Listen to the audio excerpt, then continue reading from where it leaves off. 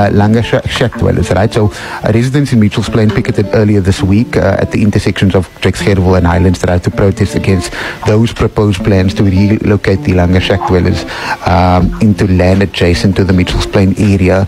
Um, tell us a bit more about what the residents' concerns are uh, and, and considering that there's already um, a, a, settlement there, which is the Siqalo settlement, which is also uh, opposite that intersection there. Tell us bit more about that. Well, our concerns are the obvious ones.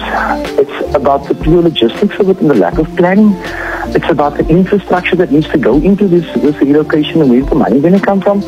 It's the question as to what impact this is going to have on our lives here in Mitchellstown.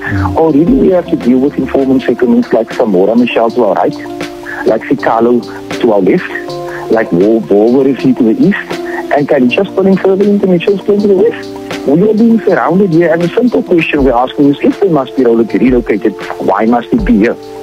I would ask the people of Constantia, of Berkeley, of Tableview, of Sunset Beach, would you be in favor of this relocation on your doorstep, knowing that when the promises made to these people are broken, that stones, burning tires, and petrol bombs will be hurled towards your vehicles with your loved ones, with your loved ones in it. Are we not entitled to being upset about this?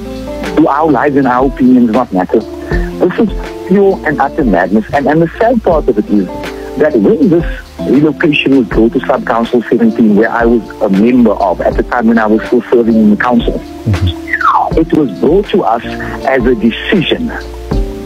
And any member of Sub-Council 17 can tell you that.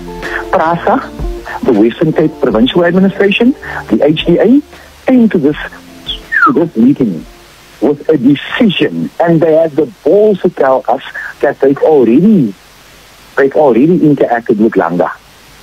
And I was the one who put up my hand and said, hold on a second.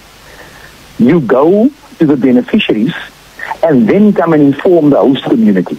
How does this work? So this relocation is madness and it cannot go ahead. The people of Mitchell's Plain have rejected it out of hand. Sub-Council 17, with the exception of the ANC and the EFF, have rejected it out of hand, and still they are telling us not go to arbitration. I would like to know from the Democratic Alliance and City of Cape Town, from the Western Cape Provincial Administration, if they can show us any decision that has ever been made by any sub-council that is not coloured, where that decision has been overridden, like they plan to do here.